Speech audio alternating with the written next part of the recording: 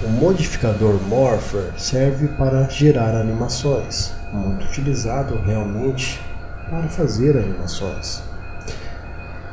Neste caso, selecionaremos um dos tubarões, que é o tubarão principal. Vamos em Modify List, selecione Morpher, em Morpher, Find Mode Multiply Targets, selecione todos os outros tubarões. Clique em Load.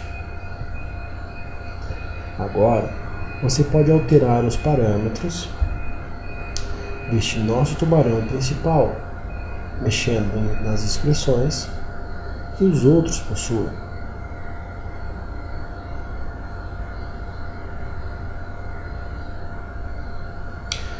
Você pode gerar uma animação mesclando, fazendo um mix e movimentação de expressões relacionado aos outros tubarões.